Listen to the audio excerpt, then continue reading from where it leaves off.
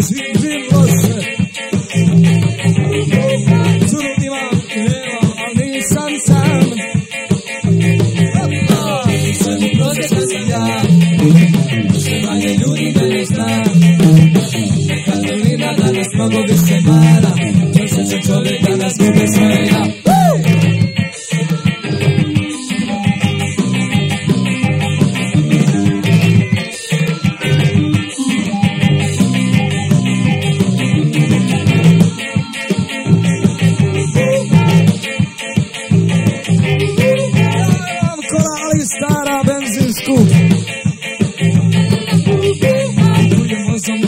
za neke sam možda glup.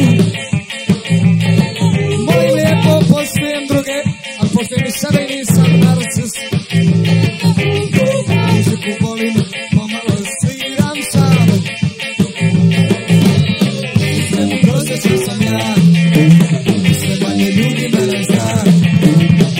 Katarina danas mnogo više mara Prosječan čovjek danas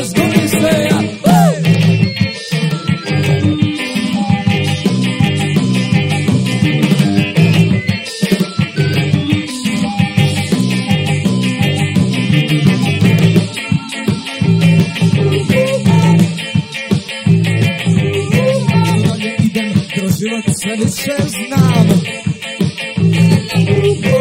prosjek nije ko nekada prava stvar.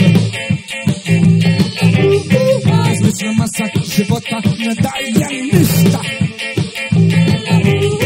Čovjek u svemu sve više liči na stvar. Opa! U svemu prosječan sam ja